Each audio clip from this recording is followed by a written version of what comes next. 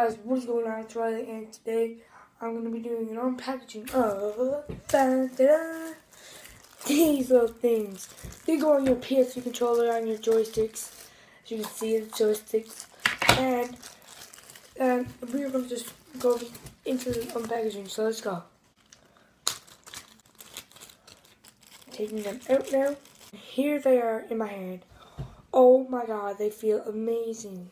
So I'm going to show you guys the pattern. It's just little dots and then the blue outlining around. So let's just put these on the controller right now. One down, one to go.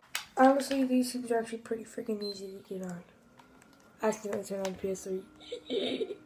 and we are done. Just let me turn this off real quick. So I hope you guys enjoyed the unpackaging of these little things and the I'm putting them on.